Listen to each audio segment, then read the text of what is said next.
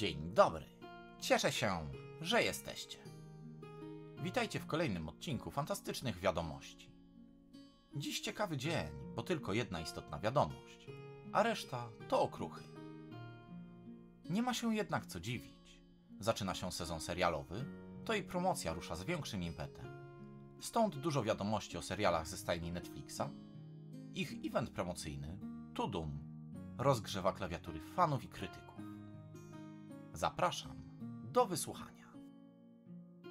Przyznano tegoroczne nagrody imienia Jerzego Żuławskiego. Wyniki prezentują się następująco.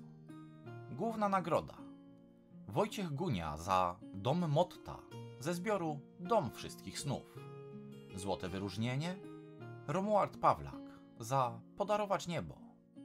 Srebrne wyróżnienie Ziemowit Szczerek za Ham z kulą w głowie. Wszystkim zwycięzcom serdecznie gratuluję. Okruchy. Mac niestety zaprezentował okładkę książki Empire of the Vampire Wampirze Cesarstwo. Jak twierdzi na swoim profilu wydawnictwo, Brytyjczycy nie reagowali na próby kontaktu z ich strony. Szkoda, bo to oni wydają tę książkę w najpiękniejszej okładce. Podwójna szkoda, bo kilka tygodni wcześniej wydawnictwo pytało czytelników o opinię którą z wersji okładek chcieliby ujrzeć na swoich półkach. Nie muszę chyba dodawać, że nie wygrała okładka, którą ostatnio zaprezentowali. Kilkanaście godzin później wydawnictwo dodało, że skontaktowało się z agentką Jaya Christopha i to ona pomoże im w kontakcie z brytyjskim wydawcą. Zobaczymy, co z tego wyjdzie. Pozostaje pewien niesmak, ale należy docenić starania naprawcze. Nawet jeżeli stanowczo spóźnione, bo na pomysł kontaktu z agentką autora albo wręcz samym autorem, powinien wpaść średnio rozgarnięty starzysta. I to jeszcze przed poranną porcją krwi. Pojawił się pierwszy, króciutki, fragment wideo z Netflixowego Sandmana. Prezentuje się dobrze.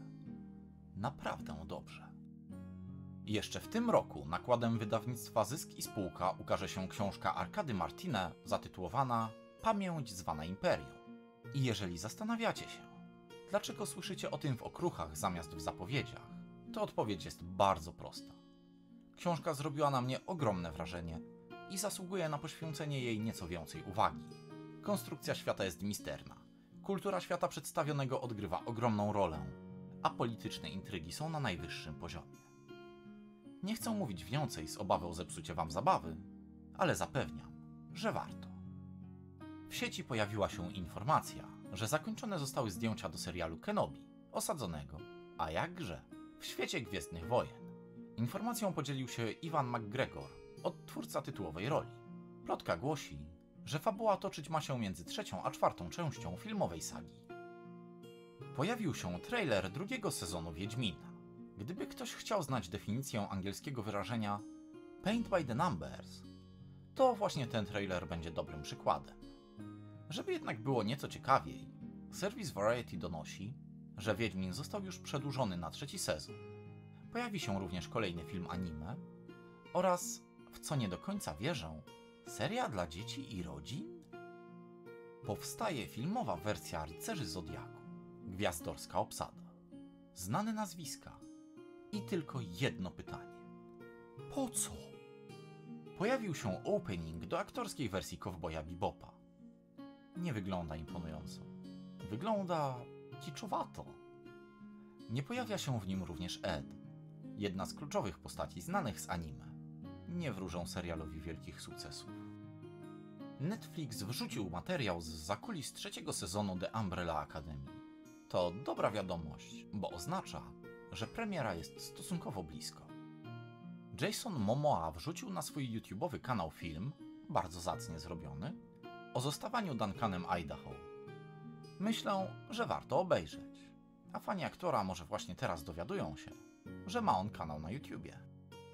Serwis Deadline donosi, że autor muzyki do filmowego Władcy Pierścieni, Howard Shore, negocjuje właśnie z Amazon Prime swój udział w projekcie dotyczącym mającego się wkrótce ukazać serialu. Gdyby faktycznie to on odpowiadał za muzykę, byłby to znak, że Amazon faktycznie jest pewien jakości i odbioru tworzonego produktu. Przypominam, że serial ma zadebiutować we wrześniu przyszłego roku. Fragmenty. dostępny jest fragment powieści Ziemia trwa autorstwa George'a R. Stewarta. Dziesięć żelaznych strzał. Drugi tom opowieści o salkakofonii autorstwa sama Sykesa również może pochwalić się dostępnym fragmentem.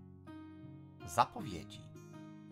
27 października ukaże się książka Żywoty Świętych autorstwa Lej Bardugo. Wydawnictwo MAC pokazało już projekt okładki. Dla odmiany wygląda świetnie.